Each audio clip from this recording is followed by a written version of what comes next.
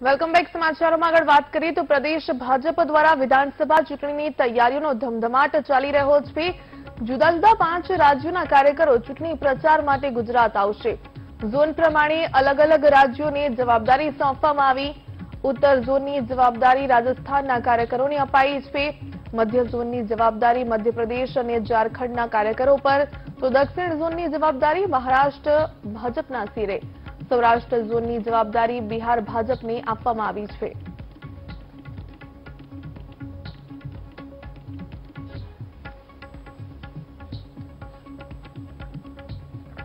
વિધાનસભાની ચૂંટણીને લઈને ભાજપ દ્વારા તૈયારીઓ તેજ કરી દેવામાં આવી છે. જે કાર્યકરો છે, જુદા જુદા રાજ્યોમાંથી ચૂંટણી પ્રચાર માટે ગુજરાતમાં આવશે. ઝોન પ્રમાણે અલગ અલગ રાજ્યોને જવાબદારીઓ સોંપવામાં આવી છે. ઉત્તર ઝોનની જવાબદારી રાજસ્થાનના કાર્યકરોને અપાઈ છે, તો મધ્ય ઝોનની જવાબદારી મધ્યપ્રદેશ અને ઝારખંડના કાર્યકરોને અપાઈ. તો આ તરફ દક્ષિણ ઝોનની જવાબદારી મહારાષ્ટ્ર ભાજપને આપવામાં આવી છે.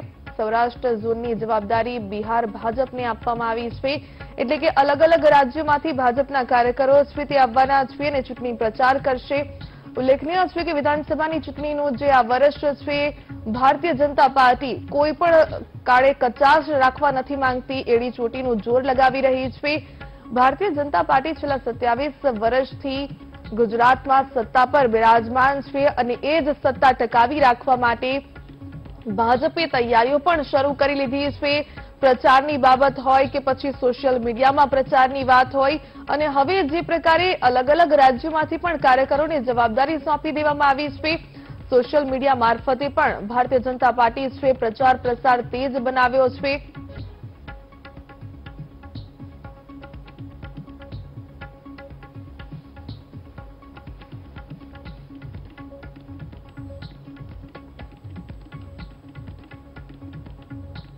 ચૂંટણી પહેલા જ ભાજપે રણનીતિ બનાવી લીધી છે અને બીજા રાજ્યોમાંથી કાર્યકરો છે તે આવશે, ચૂંટણી પ્રચારમાં જોડાશે. વધુ વિગત પ્રાપ્ત કરીએ, સંવાદદાતા ગૌતમ શેવાણી પાસેથી.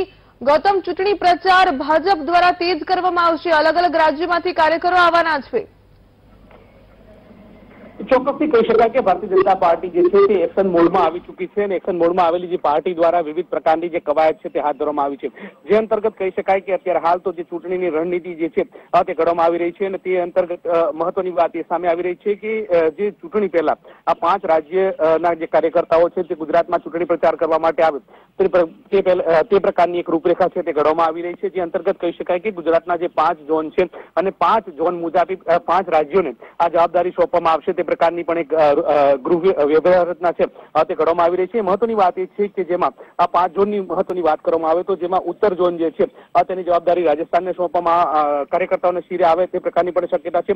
મધ્ય ઝોનની જ વાત કરવામાં આવે તો મધ્ય ઝોનની જવાબદારી છે તે મધ્યપ્રદેશ અને ઝારખંડના આ કાર્યકર્તાઓને સોંપવામાં આવે તે પ્રકારની પણ બાબતો સામે આવી રહી છે. જે રીતે દક્ષિણ ઝોનની વાત કરવામાં આવે તો દક્ષિણ ઝોન જે છે તેમાં મહારાષ્ટ્ર ભાજપના શિરે જે કામગીરી છે તે સોંપવામાં આવી છે ને એવી રીતે સૌરાષ્ટ્રની વાત કરવામાં આવે તો સૌરાષ્ટ્ર પણ જે બિહાર જે ભાજપને જવાબદારી સોંપવામાં આવે તે પ્રકારની એક વ્યૂહરચના છે તે કરવામાં આવી છે. જે અંતર્ગત જે પાંચ રાજ્યો જે છે તે પાંચ રાજ્યોના ભારતીય જનતા પાર્ટીના કાર્યકર્તાઓ છે તે ગુજરાતમાં આવશે, ગુજરાતના કાર્યકર્તાઓ સાથે આદાન પ્રદાન થશે અને ત્યારબાદ જે તેઓ વિસ્તારની અંદર જશે, વિસ્તારની અંદર જઈને વિવિધ જે વ્યૂહરચના જે છે તે ઘડશે અને તે અંતર્ગતની જે વ્યૂહરચના ઘડવામાં આવી છે ને તે અંતર્ગતના પાંચ રાજ્યોના જે કાર્યકર્તાઓ છે તે ગુજરાતમાં દાવાના આવશે. જી. બિલકુલ ગૌતમ, આભાર તમામ જાણકારી બદલ.